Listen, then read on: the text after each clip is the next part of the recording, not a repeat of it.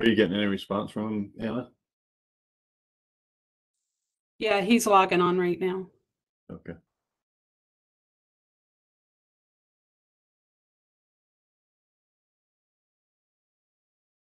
Did you get any public comments after the notice? They- went out? They've all been really um supportive and yeah, um they're they're all included in the staff report.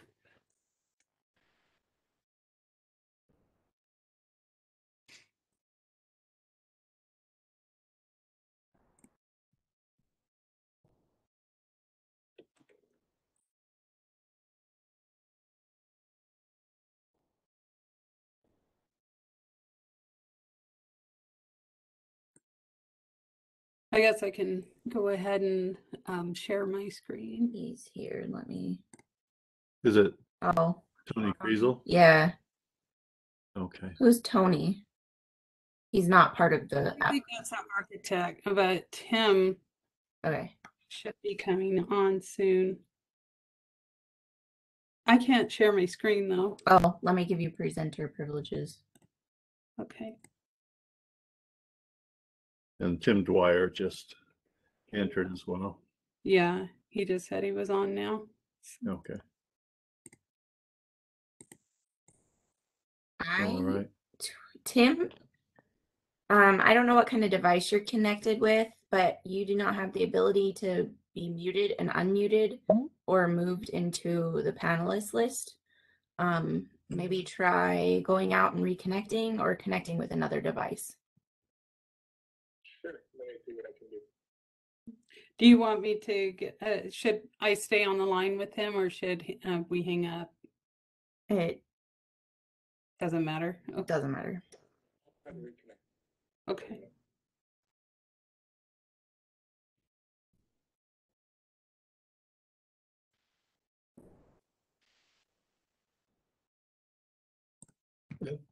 Aubrey, can you unmute Tony Kriesel? Just make sure um, we can hear him. Tony, you are unmuted. If you could let me know you can hear me. Yeah, no, I can hear you guys. Great. Thank you.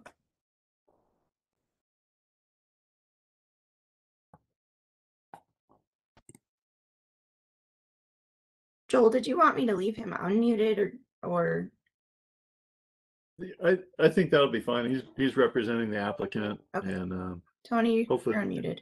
Uh, so that's not technically true.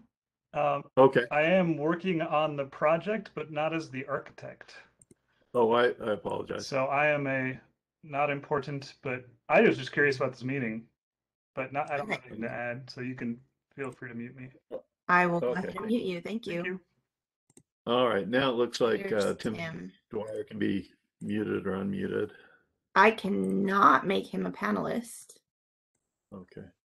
Tim, can you hear me? I can. Can you hear me? Yes. Okay. Okay. Um, So Tim, if you have your own presentation or anything that you want to include in this, you can email it. It, it sounds like you can't share your screen on this. So you can I won't be email it to. to me or to Aubrey and we'll share our screen for you. Great. Thanks. I don't have anything else. Uh, Okay. thanks. Okay. All all right, well, let's, let's formally start this meeting. I think, um, I think we have everybody here that, that we need.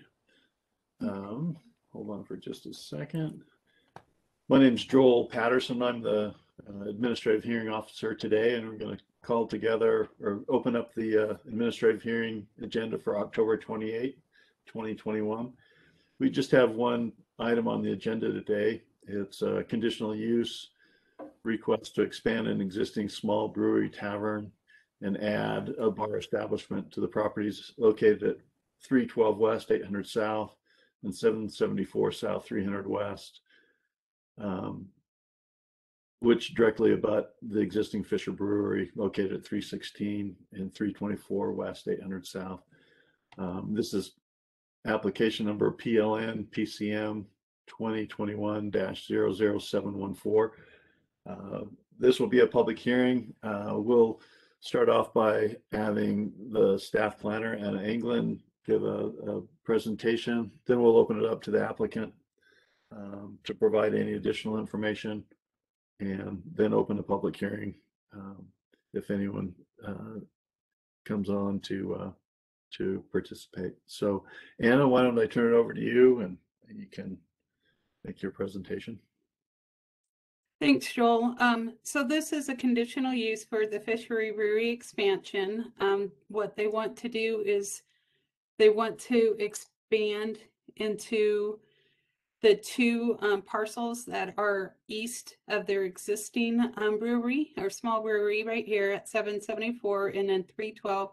Currently, the 312 um, parcel is empty um, and 774 South 300 West is um, does have a coffee shop and then it has like a, a small artisan food business that isn't open to the public. It's just where um, someone just prepares food and sells it um, off premise.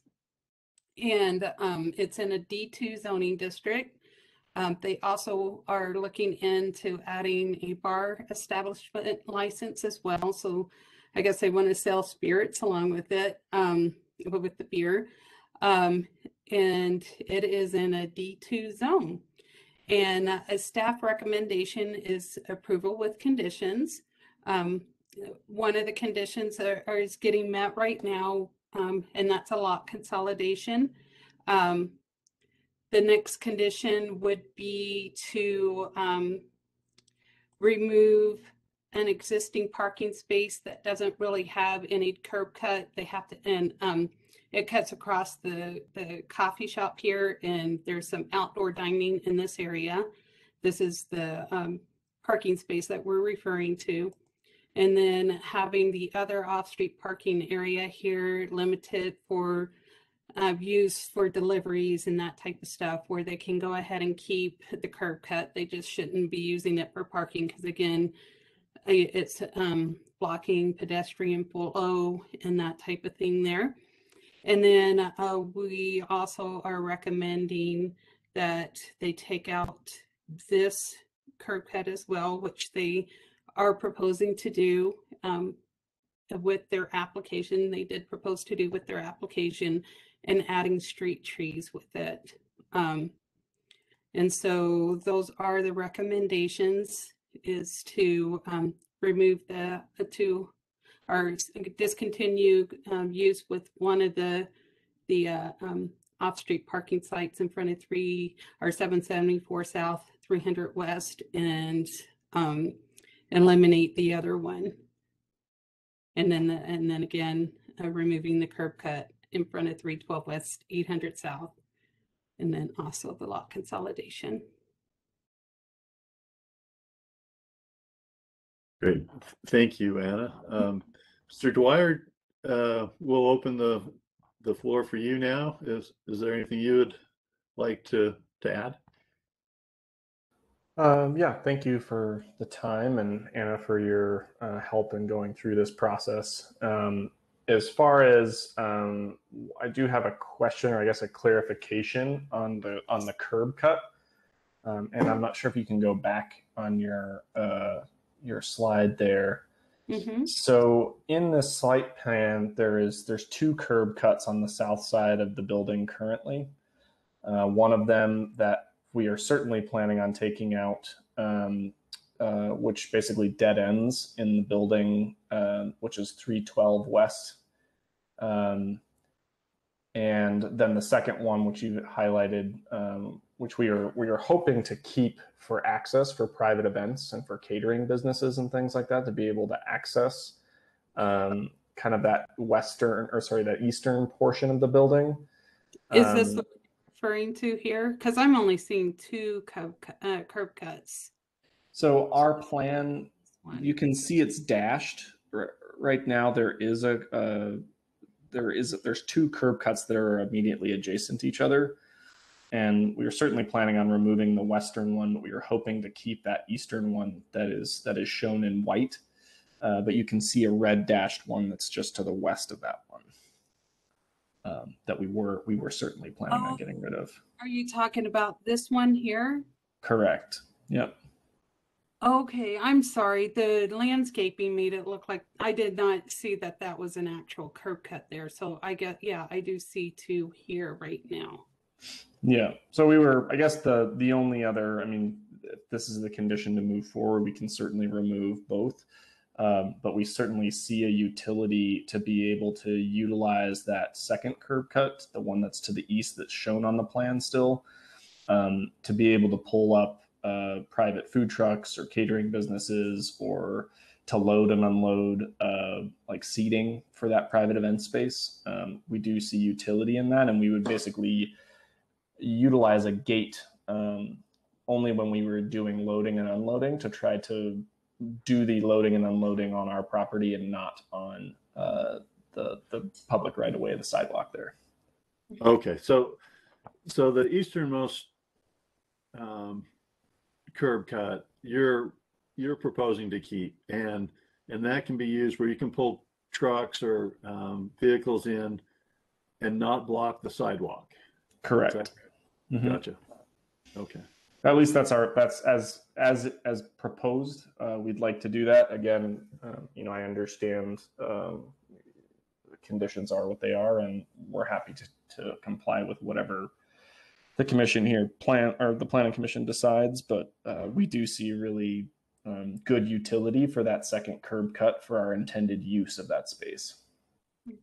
So Tim, this is the outdoor like patio area though, right? As well, Mhm. going through here. And so the curb cut would go pretty much right where the outdoor patio area is going to be located, correct? Correct. But so if you were to drive into that driveway, you're going to be able to continue to go into an overhead door. So Is the it- idea is that we would be able to use that as a loading and unloading zone only, um, pulling pulling whatever truck all the way onto our property there. And you're not going to have any kind of permanent, because I know that there was some landscaping requirements that are going to be, eh, take effect in through, eh, through this area. Mm-hmm. and then here and then some as well here. So, um, Yeah, effectively, we'd like to proceed with it as it's drawn, where we remove the the westernmost curb cut. We have a tree there. We have planting underneath that, and then we're adding, you know, the trees along um, the south side and planters uh, of the patio area. But we do have like a an access gate, uh, essentially, for this loading and unloading for the pri- to service the private event space. okay.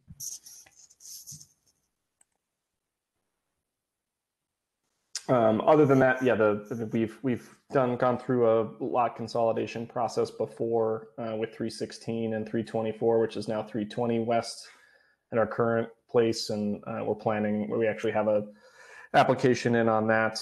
Um, removing the other two parking places, uh, I think, is a really great thing. Um, that's going to allow that coffee shop tenant who's in the front of of 774 South to fully utilize uh, the sidewalk area there, and uh, I think that'll be ultimately good for the frontage um, on uh, for their business and for our ongoing tenants there. And aren't you also planning on occupying this space here once the lease is up where um, Correct. the other tenant and you were planning on maybe putting some more outdoor seating through here? At least you were, we had talked about that at one point. Yeah, and that might also be utilized by that coffee shop as well. Um, that's kind of a nice little nook that's off the street, and um, they've indicated an interest in that if we're not going to be using it. So um, we'll be negotiating that with our our tenants and figuring out what the best use is. Um, but you know, overall, we're looking to really activate um, you know from the from the street level uh, what's going on there. People being able to you know be sitting there and either having a having a beer and food from the food truck or uh, you know having coffee from the coffee shop in that space um, immediately to the west uh, or to the east excuse me of of 774 Okay.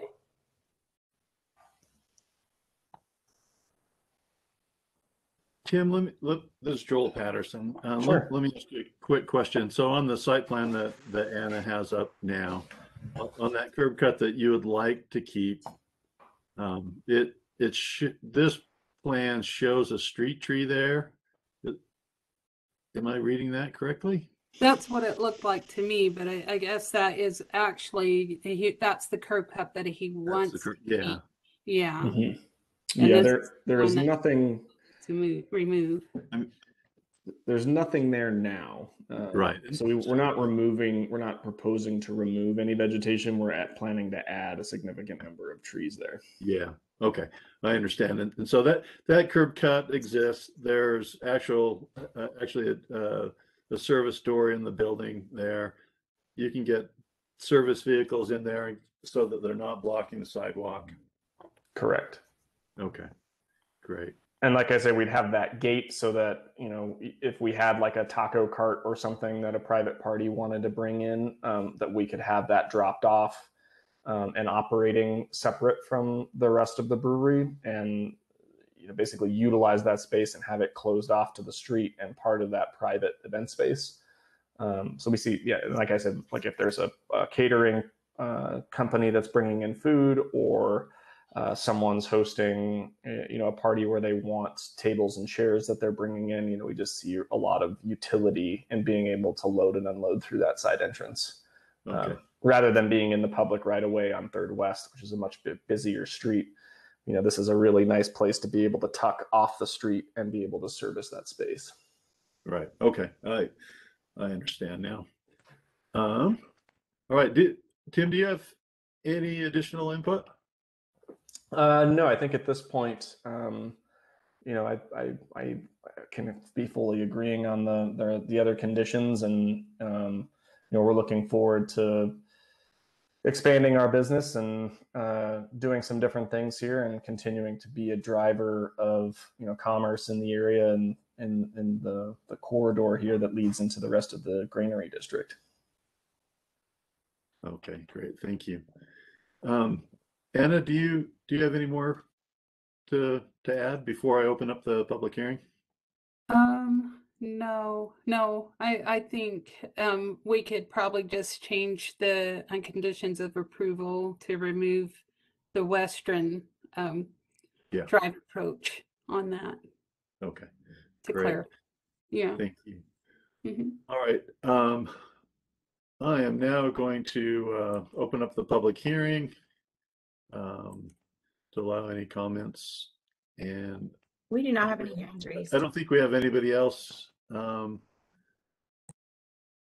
in attendance. And I, I'm trying to open up all the attendees and it's not letting me do it for some reason. Um, We just have Tim Dwyer and Tony Kriesel in, on there, and there are no hands raised. All right, and c- just to make sure, can you ask Tony again? I, I think he said he didn't really have anything he wanted to add, but we'll give him the opportunity as part of Tony, it. did you have anything you wanted to add? Um, yeah, no, I mean, I submitted a formal, um, written comment, but I mean, yeah, it just, I think Fisher is a really good, um, business slash community partner to have in the neighborhood. Um, I live across the street and it's been, they've been great. Um, they're a great neighbor. They're, I think, good for the community and I think this expansion will be really good. So that's all I have.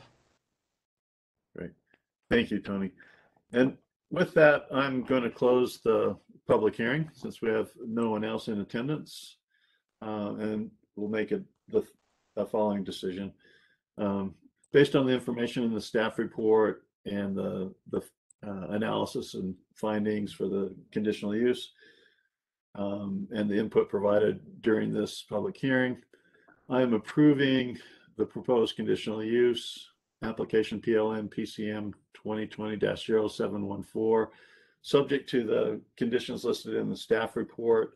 And we'll modify that to clarify that the on, excuse me, on uh, eight, 800 South, the eastern curb cut that is existing uh, that leads to the, um, that service door uh, can remain um, and be used for um, temporary access for for services to the building. Um,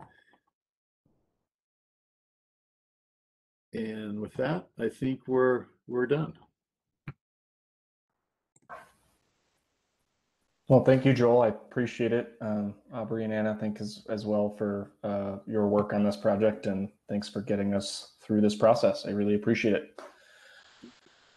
You're welcome. Thank you. Thank you. And thank you, Tony. All right, with that, um, this, this meeting's officially complete. We're done.